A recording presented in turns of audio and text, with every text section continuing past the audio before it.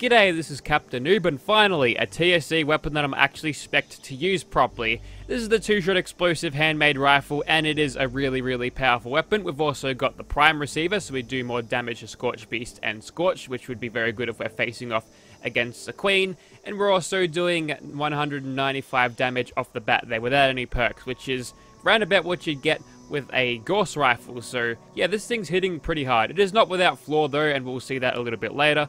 But first of all, let's go ahead and spec our perks into this. So first of all, to get our explosive damage up, we'll go Demolitions Expert all the way up to 100 now. I've just shuffled some special points around, so I'm able to get Demolitions Expert to number 5.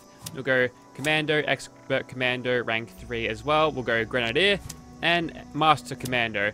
And with all of those perks applied, this thing does 469 damage, which is crazy. I think for some reason the splash damage for these weapons is equal to the damage shown on here, that's why they're so powerful. I think that's what happened, because if you use a Gauss rifle with the explosive damage, it's only a little bit of extra damage that you happen to get near your target, but for some reason, I don't know, I feel like it inherits the base damage of the weapon, so if you get that super high, you'll be laughing. Attachment wise, it's kind of the same that I had my Furious handmade rifle on, except I've got the prime receiver here, which compared to the powerful auto, does a little bit more damage, which is useful, and of course the aforementioned bonus damage to Scorch people. Um, to find this, you'll need to kill Scorchbeasts, and they'll sometimes drop the schematics. It is a rare drop though, so make sure you want to go ahead and target the higher level Scorchbeast, or maybe the Queen can even drop this. I've only killed her a few times, so I'm not really sure. True long barrel just like last time, as well as the grip. Replacing the stinging magazine is a drum magazine. That gives you like 80 bullets, which is crazy because the other drum magazines only give you like a little bit more than you get out of the stinging magazine, so maybe that's a little bit of an error on Bethesda's part, but we won't, we'll be missing out on a little bit of armor penetration, but with the damage we've got, it won't be a problem, so we'll just go for the highest ammo capacity. Also has a slower reload, but not really a problem there. Same reflex light and a suppressor to keep ourselves nice and hidden, but that will really need sneak attack criticals to do a lot of damage, but stacking even more damage on top of this is going to be fun. And whilst we're on the topic of prime receivers, they'll actually require a different type of ammo, just called ultracite ammo, which will require ultracite and also some flux out of nuke zones. So yeah, getting this ammo is a little bit tricky, but you are rewarded for it with a little bit extra damage. Alrighty, let's start off today with a little bit of Scorchbeast hunting. So uh, first of all, we'll just get his attention and wait for him to come nice and close. Well, I'm being shot at by something. Are they scorched down there? Well then, if they're if they're gonna do that, I'm just gonna kill them for extra adrenaline. Thank you for the bonus damage. Also, unnecessary reload number one. Alright, looks like we're good here. And with that adrenaline, we've got, let's see, plus 40% damage. And there's another one just here. I'll just take him out. And as for that one, who's a little bit further away, We'll just lure him in with a little bit of shooting. Alright, here he is. And although we're detected by him, he's gonna have no we're gonna have no problem taking him out because we've got all of this extra damage. So not being you know, not having to rely on sneak attack criticals to actually perform a lot of damage is uh, yesterday's problem because this thing, it kicks a lot of ass. But those were only level 50 Scorchbeasts. I want to see if I can get a level 80 to show up. Well, we've got another level 50 here, so we'll take him out, I suppose. Now, the recoil on this, and as well as the accuracy on this, does suffer thanks to the two-shot effect, and um, it seems that the explosive glitch is kind of around sometimes, because sometimes he just refuses to take damage, and just sort of regens like nothing happens, but for the most part, they ironed out that glitch, and since this thing hits as hard as it does, I'm not going to really be complaining about it because we can easily just make up that damage lost by shooting him some more. There's not a whole lot of uh, skill that goes into these weapons, just make sure your shots connect, and you'll be doing fine with basically any fight, as long as you can keep the explosions away from yourself. Okay, so I want to kind of explore the accuracy of this weapon. As you saw before in my perk chart, I've got Ground Pounder. At rank 2, I've left, left an extra rank out of that just to get a, a little bit more explosive radius. But as you can tell, the um, spread of this doesn't seem too bad. When you do move though, the, um, the crosshairs do bloom a little bit, but when you're standing still and crouching, it doesn't actually seem to be that bad. knowing this, we should be able to take out these super mutants okay at range, even from here. I think he was obscured by that uh, van there, but we managed to get him eventually, thanks to concentrated fire. Although shooting at this wall from here would... Yeah, okay, this thing's not really that accurate, but it's nowhere near as bad as the um, two-shot explosive MG the other day. At a sort of medium range, you could probably get away with doing this. You don't really need that to stack criticals like you would do with the regular Stealth Commando build to actually do a lot of damage though, but if you want to boost it even more, say you were fighting some Scorchbeast Queen or something and... Okay, those cars are wrestling apparently. Um, yeah, if you're fighting a big tough baddie and you needed to get that tiny little bit of extra damage, I mean, heaps of extra damage, then it'd be a good idea to use this thing in VATS a little bit. So Maybe you could probably get away with taking out all of your VATS perks with this and just replacing it with something like Bloody Mess. That'd definitely be a good damage multiplier on this. I could get that base damage even higher. But when you're doing that kind of damage just to regular dudes, honestly doesn't feel that necessary. So there we go. I think we've cleared out all of the muties around here. Yes, we have. We're still in hidden. Have one last check around here. So yeah, against regular dudes, this thing can just wipe the floor with basically anything. So if you're talking about balance when it comes to this thing, totally unbalanced. Remove it from the game. Okay, let's see if we can get ourselves into some sort of crazy crowd control situation with floating things. Alright, here they come. We've got their attention. Judo not sneaking. And, oh, there's a Wendigo around too, so hopefully we'll grab his attention in a second. And I guess this is not the best place to defend from, so I'll just sit here and wait for them to come through the door and then gun them down in this little choke point. I'll use that table there to bounce splash damage off the wall and wait for them all to sort of rock up. Hopefully we'll be able to collect all of them. Probably an unnecessary reload there, but that's okay. That ghoul kind of got stuck on that pram there. And last but not least, the Wendigo comes out and dives in, has a big attack, and then he dies. Now the boss is dead. I think all of the ghouls that are left are about to come out, or possibly are dead at this point. So, around the corner.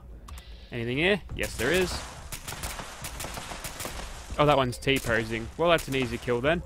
Oh, we didn't actually get him. Alright. Are we done? Not quite. A couple more ghoulies to come around.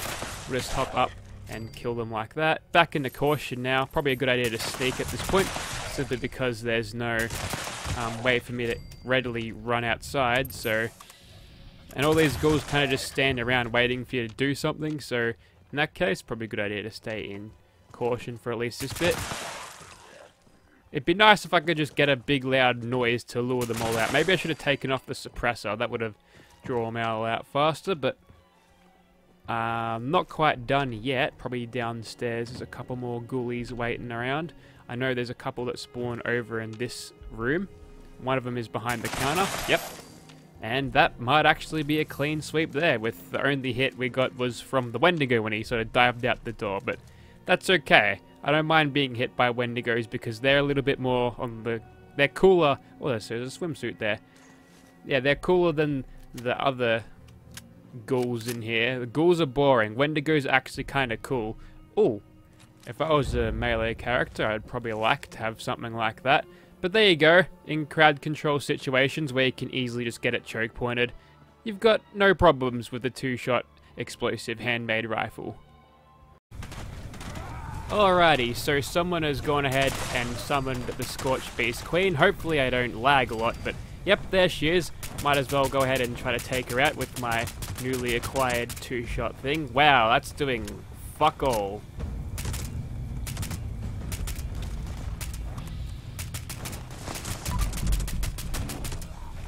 Okay, I saw a tiny little bit of um, health damage there, but she has landed now, which means we should be able to get stuck into her a little bit better. And yeah, despite doing all of that damage before, that is the extent of what we can do with a two-shot explosive prime handmade rifle. But that's okay, we're, we're doing pretty good so far. There's things attacking me. Excuse me, would you just kindly fuck off? That's okay, these guys I can build adrenaline off of, and that means I'll be doing more damage, so don't really care. when you fire this thing full auto, you really get that over-the-top recoil, but it doesn't seem so bad when you hip firing it. Which is kind of weird. Another Scorch dude there. Another one there. Holy shit, why do I keep getting staggered? Is there someone who's hitting me with a stick that I can't see? Because that has happened before. Well, there's something. It was a rat or something, I don't know. Also, that was a really close missile. Ah, it was him. Okay, so that should give us... Hmm. Okay, we're back. Um, I didn't have adrenaline equipped. I was crafting some ammo before, but that's okay. Scorchbeast Queen hasn't really moved, so I'll just continue to shoot her like this. I'll also harvest that disease cranberry. Why the hell not, eh? Get some VATS shots on her. Okay, yeah, that's doing the damage right there. Now, if only I was hidden at the moment, that would be a lot better. Okay, let's try to get some of this damage stacking here. Let's see. Well, that one was definitely some sort of high-level creature. So we'll just go ahead and shoot over in this direction. And we're at damage plus 60%. There we go, adrenaline is maxed. We've got a full AP bar. Let's get stuck in a Scorchbeast Queen. There we go.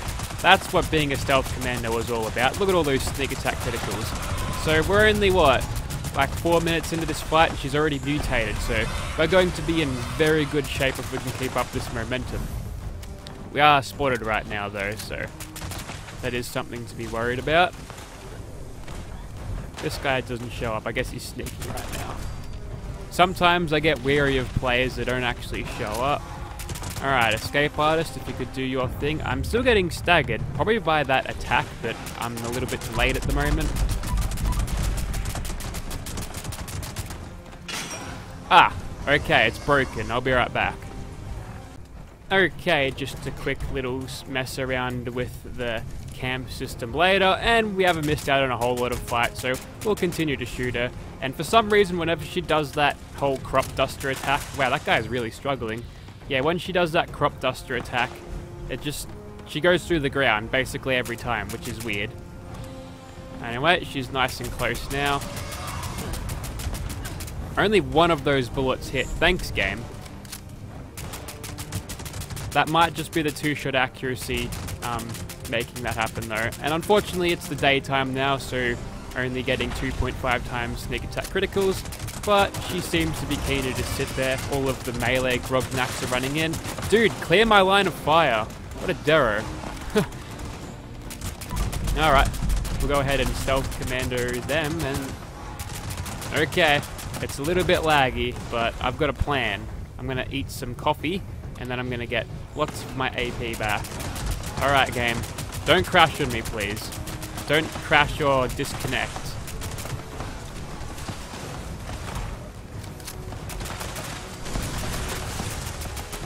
Just killing some dudes here, and we're back at an adequate supply of, hopefully adequate supply of adrenaline. Yep, 50%. Can do no wrong with that. Uh, whoops.